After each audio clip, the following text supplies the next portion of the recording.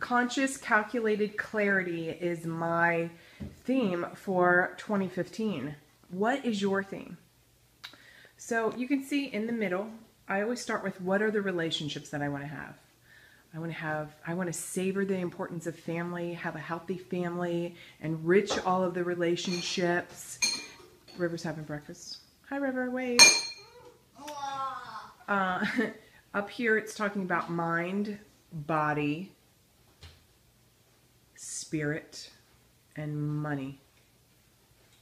And the process is to pull out images and words that support what it is that you want for 2015. So I'm going to give you at the bottom of this video,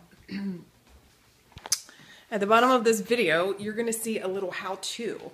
And the reason why, to make sure that you are putting in all of your desires for 2015. Get a theme. Conscious, calculated clarity. I want to be more conscious with my mind, body, spirit, my money, my relationships.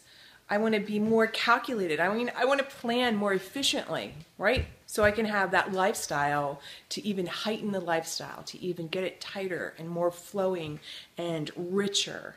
And so I have to be calculated about my life and my business. Are you doing that? Next time I'll show you my whole entire year long calendar. And then clarity.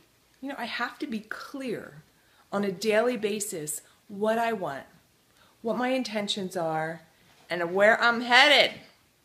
So pick some themes for the year and let me know.